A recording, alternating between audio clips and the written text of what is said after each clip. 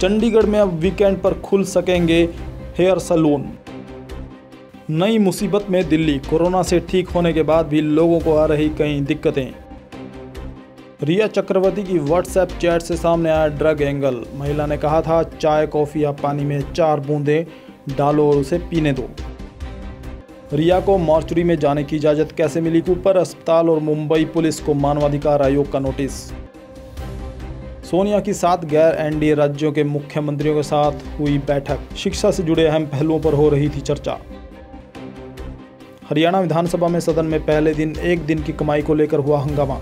Deputy CM ने सदन शोक प्रस्ताव में लालजी टंडन को सदन में श्रद्धांजलि दी। हरियाणा में आबकारी एवं कराधान विभाग में बड़ा फेरबदल। विभाग ने किस डीईटीसी को किया इधर से उधर।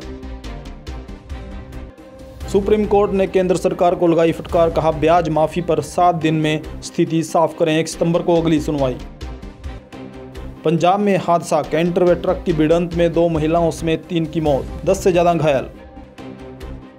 हिमाचल प्रदेश विश्वविद्यालय के तहत पढ़ने वाले छात्रों के लिए खुशखबरी है। रक्षा सेवाओं, इंटेलिजेंस या डिफेंस से जुड़े किसी क्षेत्र में युवाओं को अगर अपना करियर बनाना है तो अब एचपीयू में इससे संबंधित कोर्स पढ़ाया जा रहा है।